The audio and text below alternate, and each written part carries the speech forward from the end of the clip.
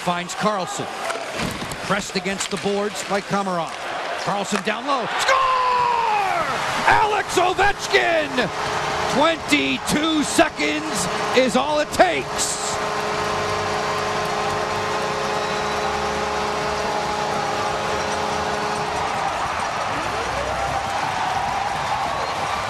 Three things stand out. Great comeback by the boys in red.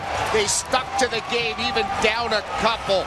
Number two, Jay Beagle wins the faceoff. Now he's able to go to the bench for OV to come on the ice. They have puck control. John Carlson battles, beats Uncle Leo, and lays over a beautiful east-west pass. Absolutely no chance for their goalie, Frederik Andersen.